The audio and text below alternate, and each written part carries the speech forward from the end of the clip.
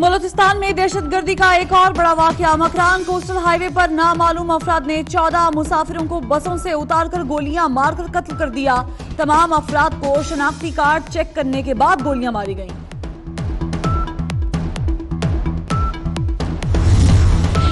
वज़ीर आज़म इमरान खान का आज कोयटा का दौरा मनसूख। वज़ीर आज़म ने अमन ओमान से मुतालिक इजलास की सदारत करना थी। पाकिस्तान हाउसिंग स्कीम का अफ्ताह करना था।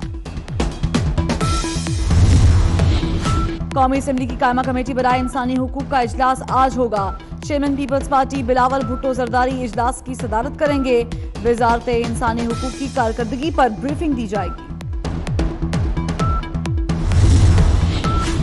वज़ीर खजाना की जेर सदारत काबीना की तोानाई कमेटी का इजलास आज होगा। इजलास में पाँच निकाती एजेंडे पर गौर किया जाएगा।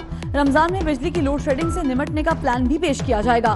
बिजली बिलों की माहाना वसूली और नुकसान कम करने की पेशरफ रिपोर्ट भी पेश की जाएगी।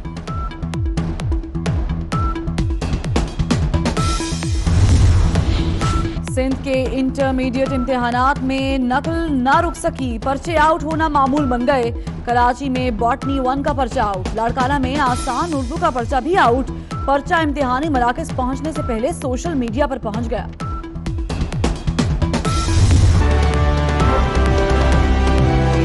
खबर है शक्करगढ़ से, जहाँ पर शोहरत याफ्ता कवाल हैदर हसन अख्तर दिल का दौरा पड़ने से इंतकाल कर गए हैं। हैदर हसन महफिल समा में शिरकत के लिए कस्बा सोजबाल पहुँचे। प्रोग्राम से कबल दिल का दौरा पड़ा, जो जानलेवा साबित हुआ।